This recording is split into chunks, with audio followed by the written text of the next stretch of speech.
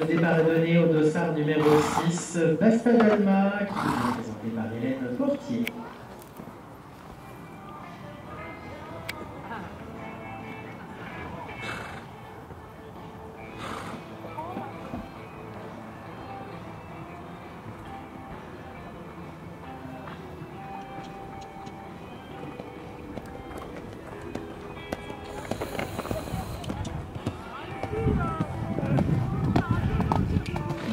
7 disque a lancé le 7 disque.